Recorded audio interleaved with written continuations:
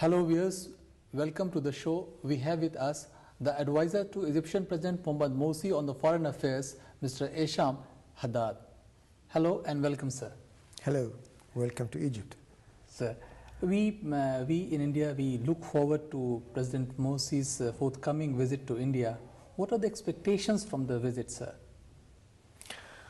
Well, first of all, welcome in Egypt, and uh, we too look very forward to see uh, this visit realized because the relationship between uh, Egypt and India has been so long and so close. Uh, Egypt and India with uh, former Yugoslavia has created together the cornerstone of uh, the non-alliance movement and we think that it is time to re-strengthen this relationship in all areas political, economic, social, and cultural.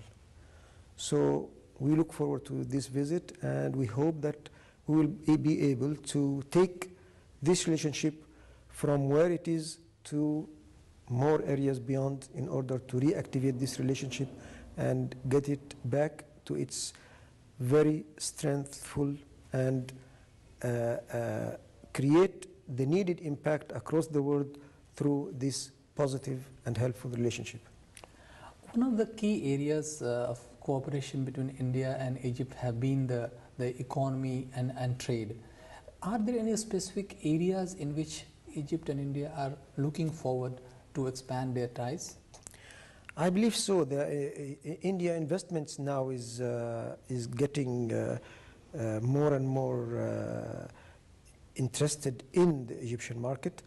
Uh, so far, we have nearly two and a half billion dollars investments in Egypt from Indian enterprises, and it's mainly in the area of textiles and petrochemicals, and we are expecting to see more in the pipeline. Egypt, with its position as a as a market and as a geographical position is actually uh, attractive for Indian investors, and we would like to see more investments coming. The areas actually is, is, is wide, wide, and we can say the issue of textiles and petrochemicals is already there, but we'd like to see in IT solutions, in IT companies who are interested in this part of the world, in these markets, and you have a very uh, good established IT industry in, uh, in India.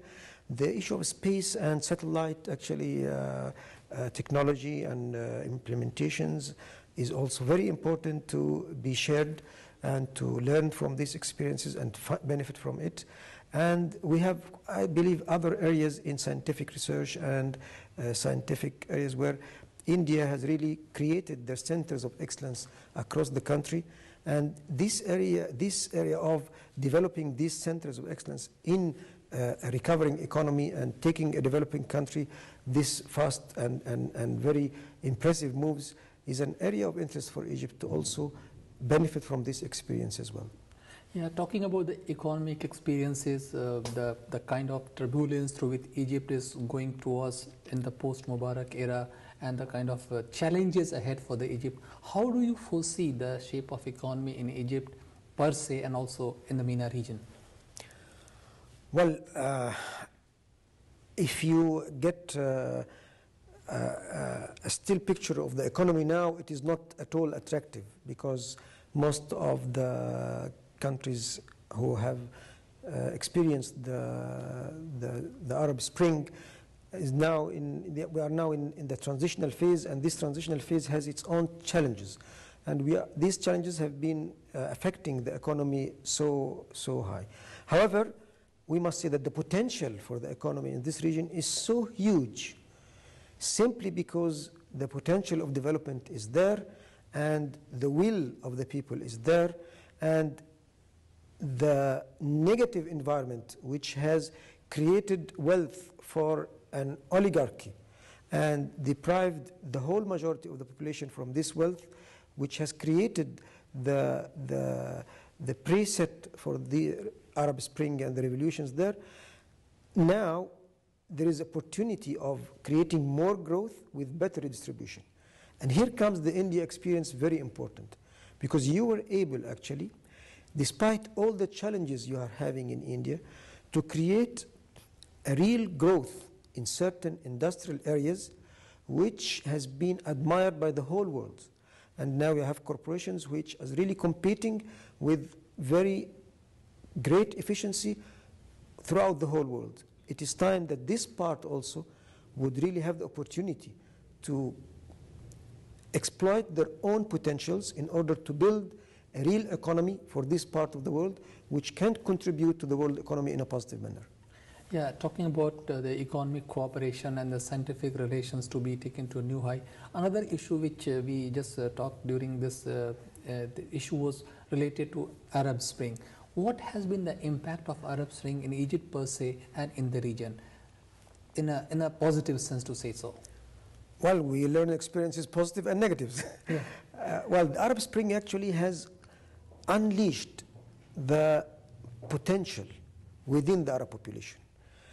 Now, the Arab population in Egypt, in Libya, in Tunisia, and to a certain extent in Yemen and Syria with its problems, now they are expressing their will. In a positive way, this is totally new situation in this part of the world where people are expressing their will, where public opinion has its own choices, and the choices of the people are respected and has to be addressed. This is a major change, which has not been before. This will have its impact in developing the region, whether in the political side, which we believe is more important to have political stability as soon as possible to go through th- this transition, and also in the economic side, which is what matters at end. Because people without feeling that they are secure and their economic aspirations are addressed and are achieved, there are job opportunities, there are growth in certain areas, there are no marginalized people here or groups here or there. If we do not achieve this, then there is a real threat. But what I can see, and I can very clearly see, that the potential is great. And as long as the, the people are now expressing their views and their will in a very civilized manner, then this potential will be attainable. The real challenge is how successful will this transition go through?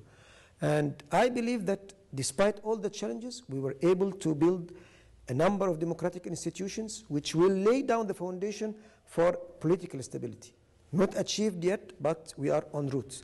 And this definitely will have its impact on the economic side, because the legislative side will be looking for the benefit of the people, not of a small group of people. And the uh, executive side will be accountable for these people, so they will have to work hard in order to address the people, the needs of the people. And this means definitely that the number of people finding opportunities to create growth and wealth in different industrial areas or agricultural areas will be greater, which means the economy will expand and this will be attractive, more attractive even for foreign investments to come. So I'm, I'm not painting a colorful picture, but I am seeing a real, very great potential in what the economy could develop in this part of the world. Yeah. Uh, one of the in- interesting aspects have been the in the aftermath of Arab Spring has been a revival in terms of the democratic institutions in the Arab world, and with Egypt is also going through that phase. Do you foresee any role for India in further strengthening the democratic institutions in Egypt? Absolutely. Yeah, you are considered one of the uh, biggest democracy in the whole world. I mean, and uh, actually, the Indian experience has a lot of areas which could be uh, uh, benefited from. And I will mention just one area which we would really like to see even in Egypt here, the area of voting, the electronic voting, which you managed to create a very reasonable machine, and this machine could be distributed in anywhere on whatever village, remote village is, and then you can directly make this uh, ballot, uh, uh, ballot, uh, balloting uh, exercise more uh, affordable and more easy for the population to achieve.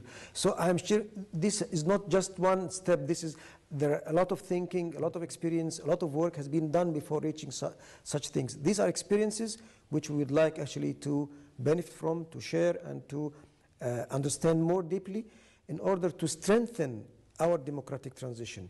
The institutions and their role, the balance between the legislative, the, the executive, and the judicial uh, powers, the role of the civil society, uh, we, I mean, in our actually part of the world, we would like to develop this society, civil society to a great extent.